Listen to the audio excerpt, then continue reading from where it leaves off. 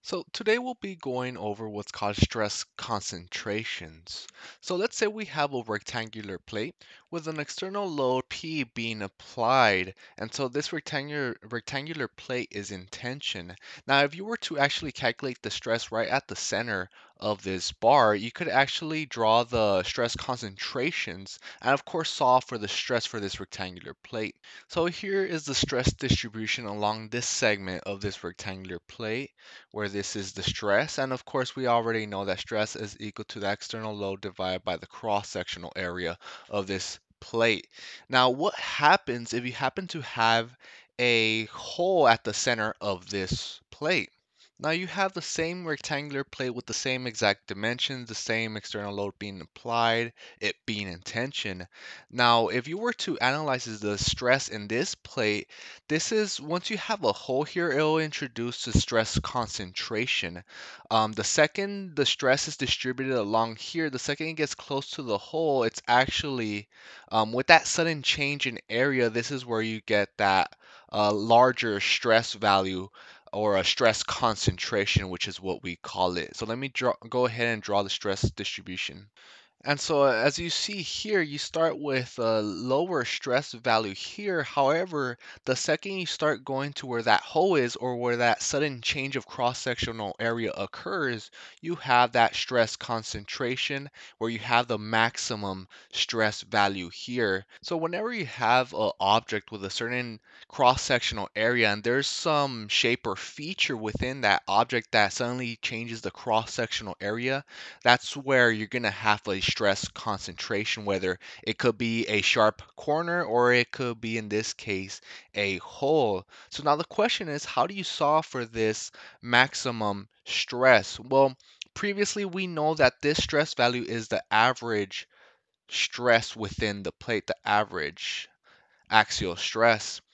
And so when it comes to solving for the maximum stress in this case would be equal to the stress concentration factor K times the average stress. Because when it comes to designing parts we always want to look, we always want to design for the worst case scenario. And in this case we want to design considering the maximum stress not the average because we do not want the part to fail. So we're going to consider a maximum stress and make sure the object can withstand that much stress. So this is the equation that we're going to be utilizing. And I'll actually show a table for the stress concentration factors for a rectangular plate with a hole. So there are specific values for K that you're going to look up uh, in a graph. And that's how you solve for the stress concentration. You calculate your average stress. Keep in mind the average stress, it deals with the cross-sectional area at this point. So you're not considering the cross-sectional area of the hole here. Just keep that in mind. So just to reiterate, um, when it comes to solving for, for the maximum stress with a rectangular plate and a hole, this would be your average stress, right? You're considering the cross-sectional area without the cross-sectional area of the hole within that plate. This would be your average. And of course, this is the equation you're going to be using to solve for the maximum stress, which will be used for designing the parts. Now, similarly, when you have a plate with corners, in this case, these corners have a radius r here, you would also have a stress concentration here due to that sudden change in cross-sectional area from this point to this point. Right at this location, you're going to have that stress concentration. So drawing out the stress distribution here at this location is right where you have that sudden increase in cross-sectional area here is your maximum stress on both ends due to that sudden change in cross-sectional area. And this below would be the average stress, right? Just taking into account this small cross-sectional area and the equation stays the same. The maximum stress is equal to the stress concentration factor K times the average stress. And that K factor is also looked up in the graph, which I will show here. Um, with the given parameters, dimensions, and so forth, you could solve for that stress concentration factor and get the maximum stress. So let's go ahead and do a, a example here. So the problem statement is The steel bar has a di dimension shown. Determine the maximum the maximum axial force P that can be applied so not to exceed an allowable tensile stress of 150 megapascal.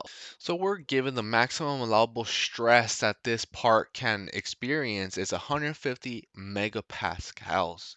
Now we have the given dimensions. In this case, it actually has a thickness to this plate of 20 millimeters and the corners have a radius of 15 millimeters.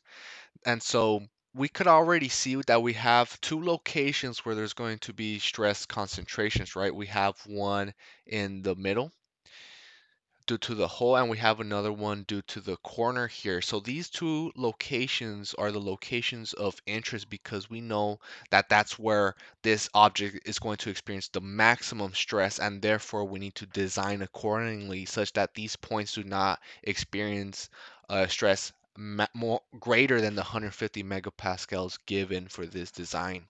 So now in this case, we're going to have to solve for the maximum stress at these two locations. Let's go ahead and solve for the stress concentration at the hole first. So the first factor when you're looking at the graphs for the stress concentration, we have the parameter 2r divided by w. In this case, the w is the width of this plate, 60 millimeters, and 2r is the essentially the diameter of this hole. So it's 24 millimeters divided by 60 millimeters, which gives us a value of 0.4.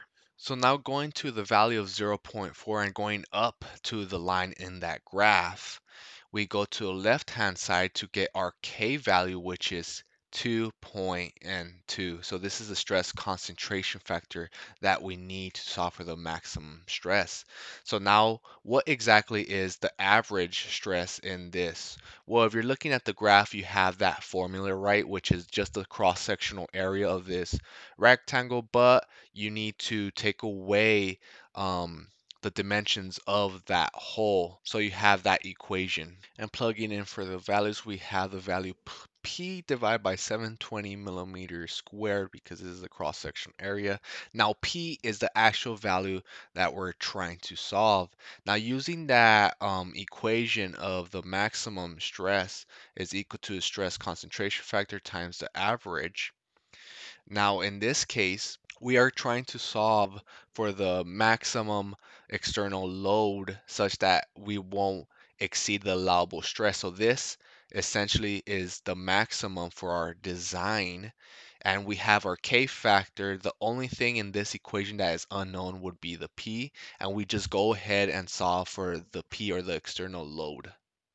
So just keeping everything in variable form, the maximum stress is the allowable divided by the K factor times W, take away 2R times T, which is essentially just a cross-sectional area here.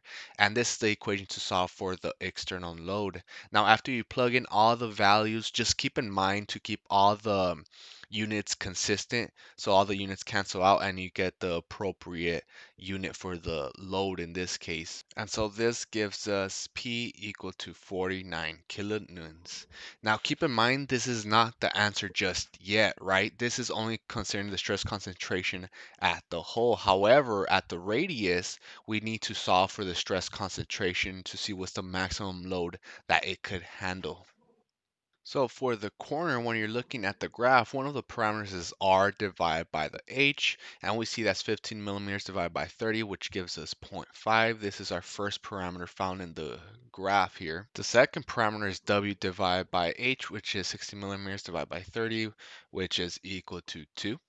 And that gives us a stress concentration factor of 1.4.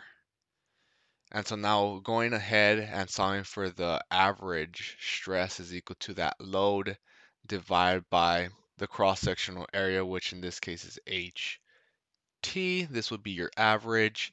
And then again, doing that same equation, the maximum stress is equal to stress concentration factor times the average. We already have, we already know the maximum allowable stress. And so we go ahead and solve for our P which is the, ma the maximum allowable stress times the cross-sectional area divided by stress concentration factor, which gives us 64 kilonewtons for the other stress concentration factor. So now the question is, what is the maximum load that this plate can handle?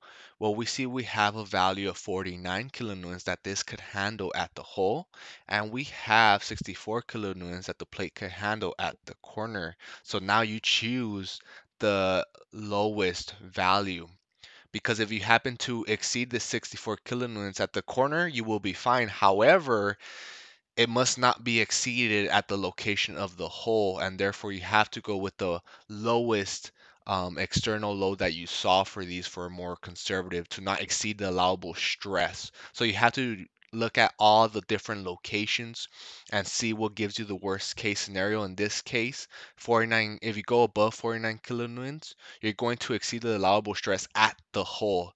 You won't exceed it at the corner, however, you will exceed it at the hole, so you always choose the lowest value P. And this is how you solve problems dealing with stress concentrations when it comes to any holes or any sharp corners or corners with radiuses.